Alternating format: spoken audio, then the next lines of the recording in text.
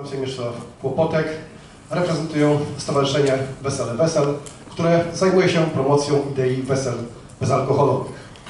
Na wstępie chciałbym podziękować wszystkim e, osobom, które do organizowanych przez to stowarzyszenie ogólnopolskich spotkań małżeństw, które miały wesele bezalkoholowe, się przyczynili, począwszy od e, księdza biskupa Branakowskiego, który wielokrotnie w tych e, spotkaniach uczestniczył i nas wspomagał, jak również wszystkich innych księży i osoby świeckie, które tutaj są obecne, a także papieżom trzem, którzy y, tę inicjatywę poparli, kardynałom, arcybiskupom, biskupom, władzom rządowym, samorządowym, organizacjom społecznym, a także prywatnym przedsiębiorcom, które te spotkania wspierają.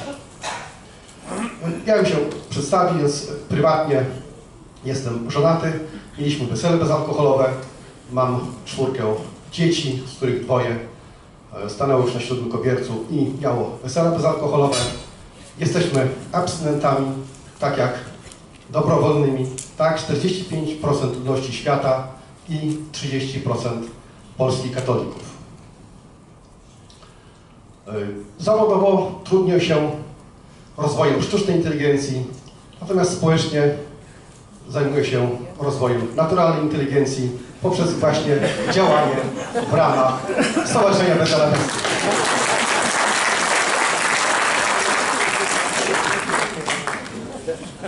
Stowarzyszenie Wesele Wesel zajmuje się krzewieniem idei wesel bezalkoholowych.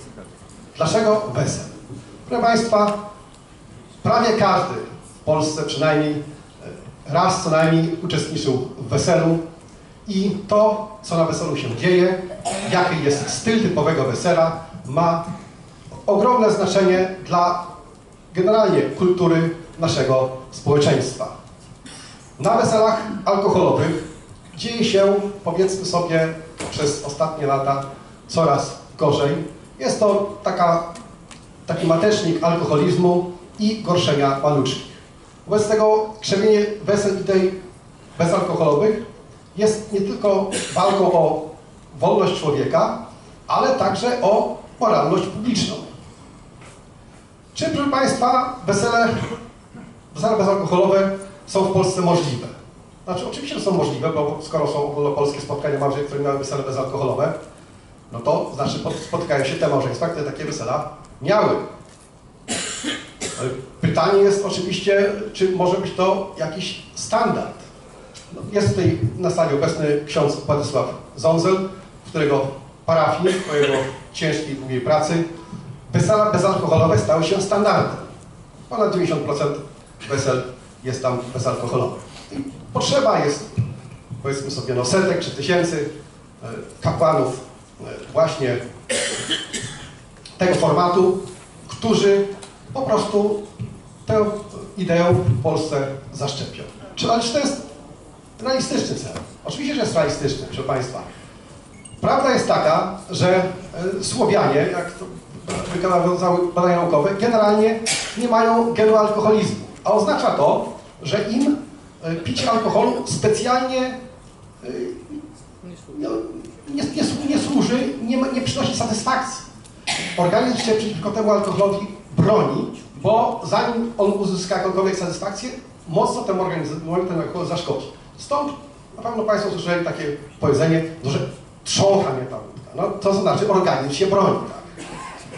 A dlaczego się pije? No dlatego, że tak ksiądz biskup Pronakowski na swoim ostatnim liście zaznaczył, 7 godzin dziennie mamy propagandy e, alkoholowej, czy reklam piwa w e, mediach, a to jest tylko, że tak powiem, 7 godzin dziennie, a to jest szczyt góry lodowej, to jest kryptoreklama w postaci e, wstawek do filmów, e, muzyki, e, wideo, prawda, jakichś tych imprez tak zwanych kulturalnych i tak dalej, kin- kinoteatr.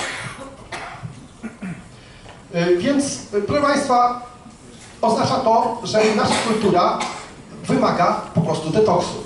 Detoks oznacza, że musimy te przyzwyczajenia zmienić. I to wesele wesel, proszę Państwa, robi w następujący sposób. Po pierwsze, Coroczne organizowane są, są ogólnopolskie spotkania małżeństw, które miały wesele bezalkoholowe.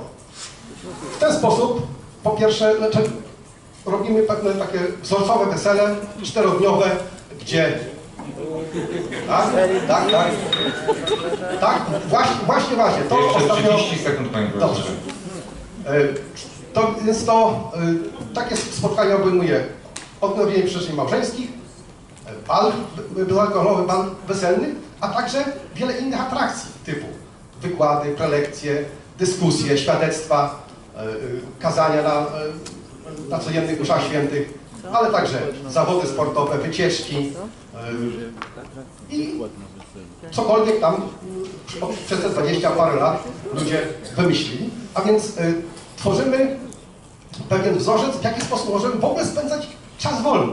No, kiedyś czytałem na jakimś blogu angielskim, który, który mówi, no, czy Anglicy muszą y, po pracy pić, nie mają innego zajęcia? Tak, proszę Państwa, chodzi o to, żeby tę te, tę atmosferę możliwości innych zajęć stworzyć, pokazać zarówno powiedzmy dzieciom tych ludzi, którzy tam przyjeżdżają, jak także lokalnej społeczności. I myślę, że to jest właśnie droga, którą powinny te organizacje pójść. Pokazać y, nie- tylko szkodliwość tego alkoholu, ale także alternatywę. A co jeżeli nie będziemy pić? Jeżeli nie będziemy pić, po pierwsze nie musimy pić, y, możemy czas spędzać inaczej. Dziękuję Państwu za uwagę.